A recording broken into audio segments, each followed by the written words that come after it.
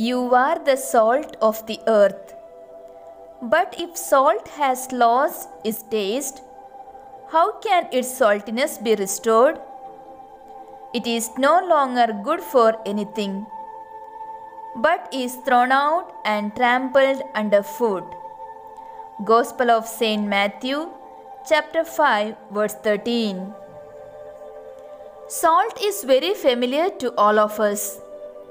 It is very common in our daily life. Salt is very essential in our food. Absence of salt makes the food tasteless, while excess of it makes the food impossible to consume.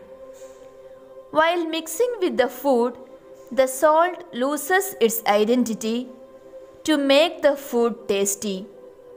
In the same way, we too are called to be one with the people, losing our own individualism to add joy to the people with whom we live and work.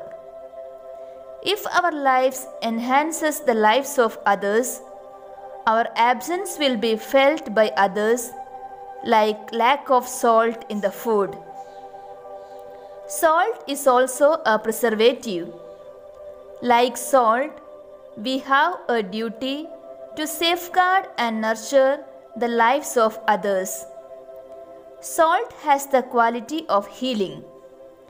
As salt of the earth, our presence should have a healing effect for those wounded in the society.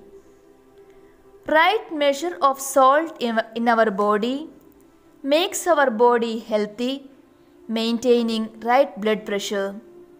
In the same way, our right interventions in the society should help us maintain healthy relationships in the society.